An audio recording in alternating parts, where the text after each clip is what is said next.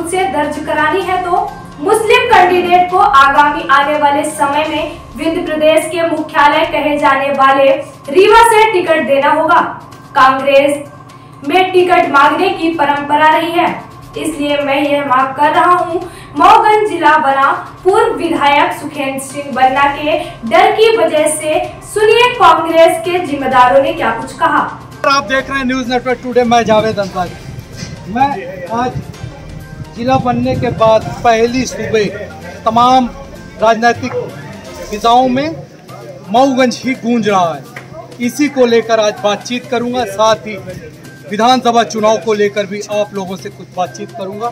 जिस तरीके से कल प्रदेश के मुख्यमंत्री रीवा में उन्होंने मऊगंज को जिला बनाने की क्या लगता है आपको चुनावी स्टैंड सही पूरी तरह से चुनावी स्टैंड है। और चुनाव अगर नहीं होता तो शायद ये जिला बनाने की पाँच साल बीत गए।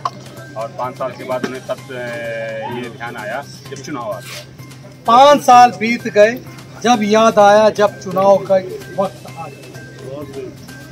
मुस्लिम एरिया में मैं मौजूद हूँ थोड़ा सा बात को दूसरे डायरेक्शन में विधानसभा चुनाव होने, क्या आपको लगता है कि यहाँ पर जाति धर्म के आधार पर टिकट होना चाहिए या योग्यता के आधार पर?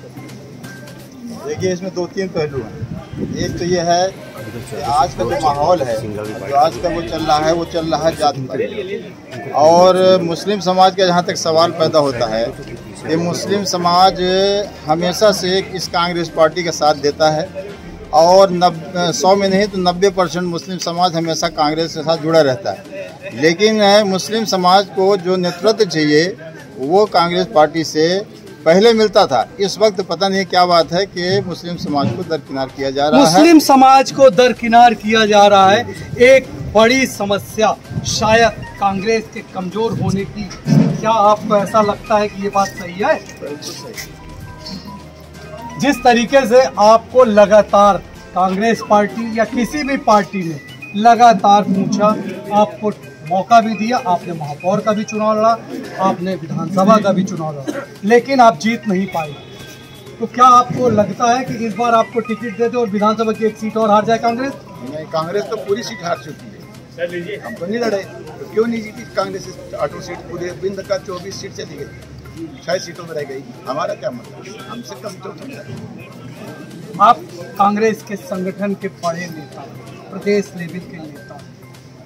जिस तरीके से चुनावी वक्त है भारतीय जनता पार्टी लगातार विंध्य में पिछले बार बहुत मज़बूत थी कहने की बात नहीं यहाँ के पूर्व नेता प्रतिपक्ष भी चुनाव हार गए थे वो एक अतीत अब चुनाव होने। मऊगंज को जिला भी बना दिया जो थोड़ी बहुत कमज़ोरी दिख रही थी बीजेपी लगातार दूर थी आप लोग रास्ते में ही अभी टहल रहे हैं देखिए मैं आपको बताना चाहूँगा कि मऊगंज सही है। बना है कांग्रेस का ही कारण बना है कि इतना संघर्ष किया गया मऊगंज में।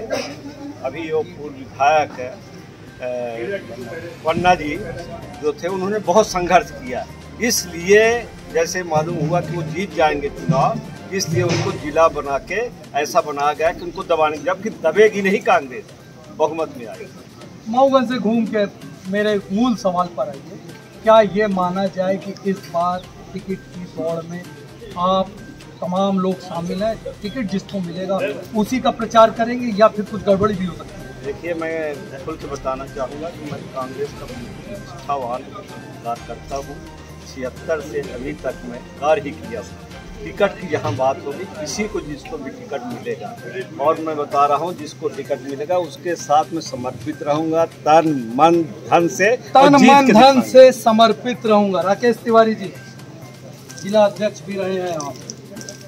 लगातार यहाँ पर नेता तो कांग्रेस के टिकट वाले कैंडिडेट के साथ मुद्दा लेकिन उसकी टीम दूसरी जगह नज़र आती है। ये कोई छिपी बात नहीं है।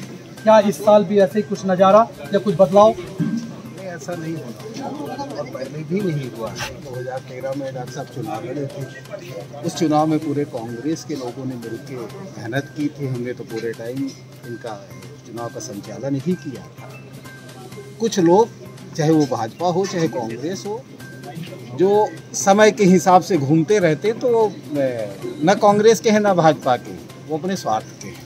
अपने स्वार्थ के हैं। कुछ लोग समय के हिसाब से घूमते रहते हैं स्वार्थ में डॉक्टर साहब अभी आप कह रहे थे कि मेरा अंतिम चुनाव। अगर आप टिकट नहीं मिला तो फिर आगे क्या? मैंने आपसे बताया ना कि चूँकि मेरी उम्र भी हो चुकी है और मैं इसमें आड़े नहीं आने देगा अगर मैंने पूरा प्रयास करने का भी मेरी कोशिश है, हर तरह से करूँगा, नहीं मिलेगा तो फिर समाज और अपने दोस्त जो हमारे हैं, सर समाज के हम आदमी हैं, उन सबसे राय लेकर के फिर हम निर्णय डॉक्टर मुजीब का साफ़ तौर से कहना सर्व समाज के लोग हैं। मैं टिकट नहीं मिलेगा तो अपने लोगों के साथ एक बार फिर से इसी जगह पर बैठूँगा, आप सबको बुलाऊँगा। रही बात जिला बनने की तो जैसा कि शिव प्रसाद प्रधान जी कह रहे थे, ये कांग्रेस के पूर्व विधायक सुखेंद्र सिंह पन्ना की उस गिरफ्तारी का नतीजा है, जो उन्होंने पचास हज़ार लोगों के साथ मऊगंज में दी थी। परिणाम आपके सामने हम लगातार राजनीतिक चर्चाओं को करते रहेंगे, ताजे घटनाक्रम आप तक पहुंचाते रहेंगे। आज के लिए इतना ही। अपने मेज़बान जावेद अंसारी को दीजिए इजाज़त।